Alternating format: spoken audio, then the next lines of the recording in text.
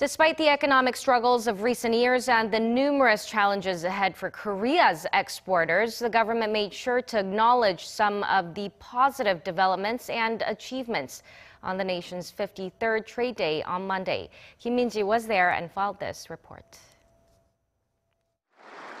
It's a day for the country's exporters. At an event hosted by the Trade Ministry and the Korea International Trade Association, 680 people were commended for their efforts to boost outbound shipments, while over 1,200 firms were given awards for hitting designated export targets. But the overall atmosphere wasn't as cheery as before, with the number of companies achieving new records sitting at the lowest since 2004. It was also the first time in 14 years that no firm was able to reach the 10 billion US dollar milestone.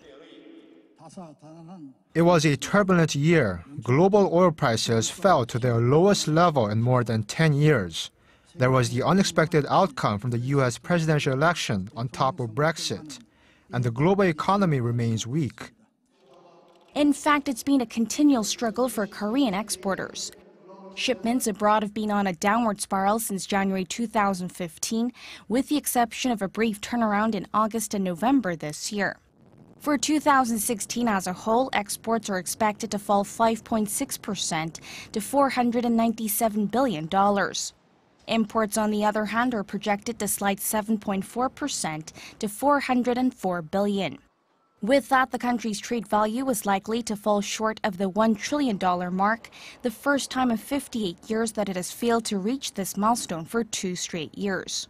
Korea's export ranking is also poised to sink to 8th place from 6th. And prospects aren't all that better for next year either. Korea's key industries are losing competitiveness among the ongoing corporate restructuring push. On top of that, risk management is needed as there are expected uncertainties stemming from a possible US rate hike and Brexit negotiations. Going forward, experts call on local companies to foster high value industries by infusing technology into all sectors, and they emphasize the need for more international cooperation and modernized trade structures. Kim Min-ji, Arirang News.